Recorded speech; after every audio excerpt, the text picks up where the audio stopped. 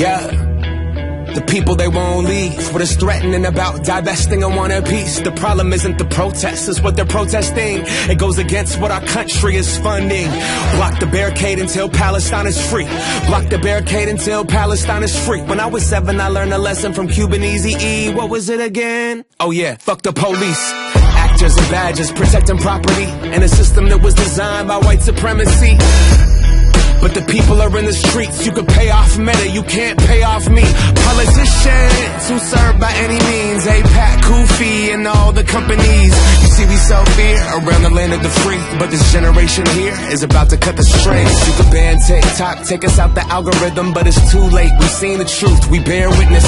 Seen the rubble, the buildings, the mothers, and the children, and all the men that you murdered. And then we see how you spin it. Who gets the right to defend and who gets the right of resistance? It's always been about dollars and the color of your pigment. But white supremacy is finally on blast, screaming free Palestine to their home at last. We see the lies and up, claiming it's anti-Semitic to be anti-Zionist. I seen Jewish brothers and sisters out there and writhing in solidarity and screaming free Palestine with them organizing and learning and finally cutting ties with the state that's gotta rely on apartheid system to uphold an occupying violent history. Been repeating for the last 75. The Nakba never ended, the colonizer lied. If students' intents posted on the lawn, occupying the quad is really against the law.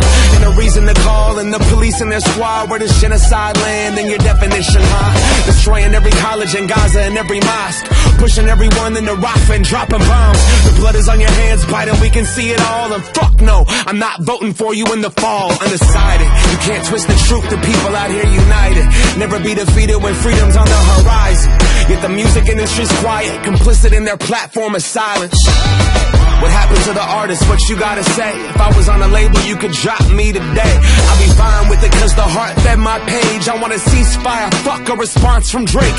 What you willing to risk? What you willing to give? What if you were in Gaza? What if those were your kids? If the West was pretending that you didn't exist, you want the world to stand up and the students finally did. Let's get it.